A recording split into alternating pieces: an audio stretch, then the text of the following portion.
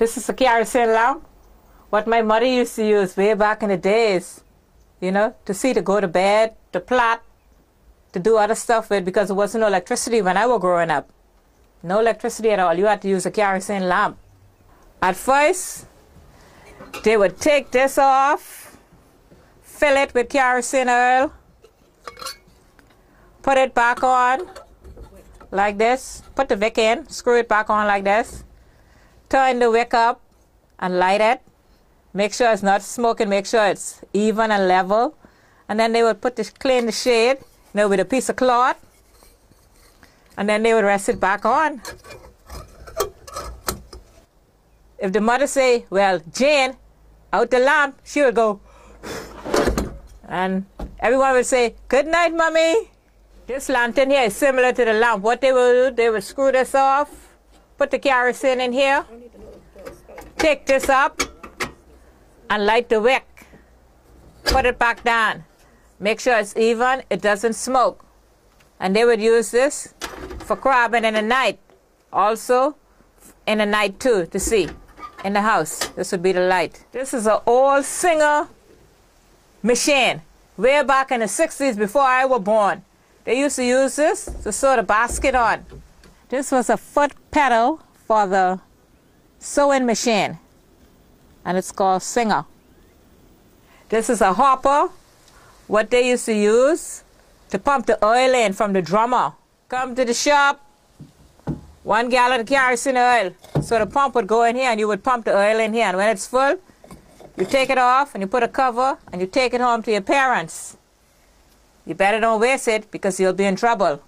When we were growing up, we had no flush toilet, so we had to use this. This is a slub bucket. This is a face pan. This can be used to wash your face in or wash your hair in. Fill it up with water and wash your hair. Wash your hair with Zest soap. In those days, no shampoo, so you had to wash your hair with Zest soap. This is a grass pillar. This make out of bay grass from the beach. and you would put it on the old before time bed to lay on and fix it. You would fix it real good so, so two children can lay their head on it like this and sleep at night. This, this is an iron, old antique iron, what they used to use way back in the days, in the 50s, in the 40s, before my time. They would catch a fire, put it on, let it heat, take it up, and they would use a wax come off the beach and then they would rub it like this. Then they would take a brown piece of paper and clean it. And after it's already clean, they would iron the clothes. This is a mill, what they use to grind the corn in. Way back in the days, before my time, what they would do, they would put the hopper on, put a basket on, Make sure it's set right.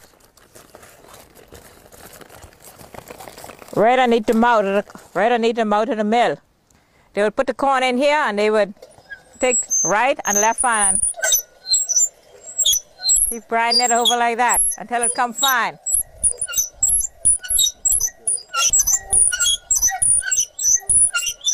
And if your two hand is tired, you take one hand. And if the one hand is tired, you get another person, your brother or your sister, whoever, and you start to grind it. And you how much stroke? One, two, three, four, five. If you're tired going right, left, you go backward. This is naked wood. You boil this for tea. It's a good herbal tea, naked wood. And I also went and got this plant this morning. This is called broom bush. It's also good for tea too. It's a herbal tea. It's called broom bush. This is the coconut. I chop it open and now I'm going to use the olden days old hickory knife to take it out.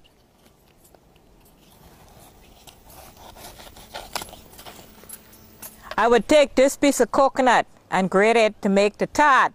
This grater, I borrowed it from Sarah Rolle in Coitage. She said it's an old, old, old grater. This grater was made out of iron can, lard can, and the hole was punched with a nail in it. So I would hold it like this. It's a new model handle.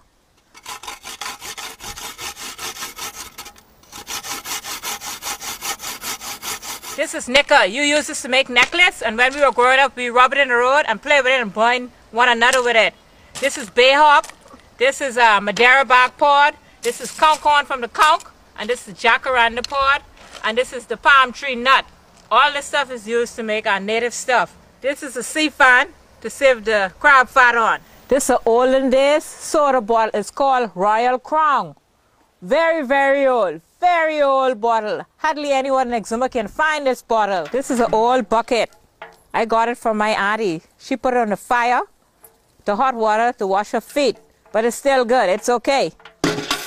And this is a pan kettle. It's all cleaned out. So what I'm going to do here, I got some top string. I just rub it together. Just tie it, you know, to make a rope. So I'm going to draw some water to give the goat.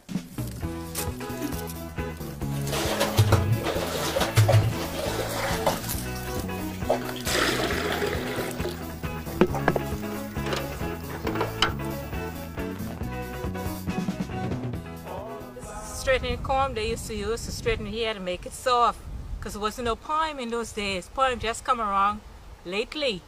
So they would put this in the fire, let it hot, but not that hot. They would take a piece of cloth, rub it off, and they would get you here and straighten it. And what they would use, they would use Royal Crown grease, which is still exists right now.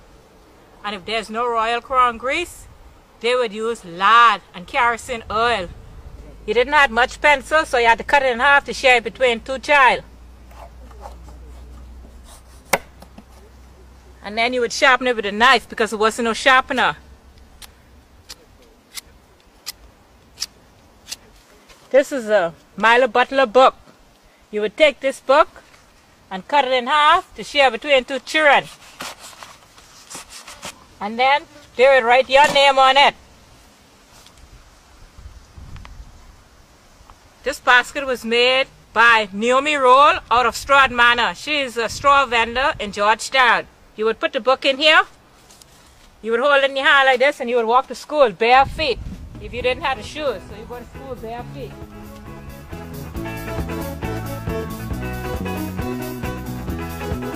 You come back home.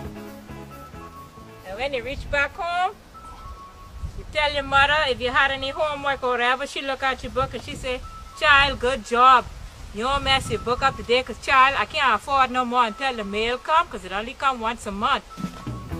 Thanks, Janice. I'm Siobhan Turnquest, Bahamian TV. See you next time.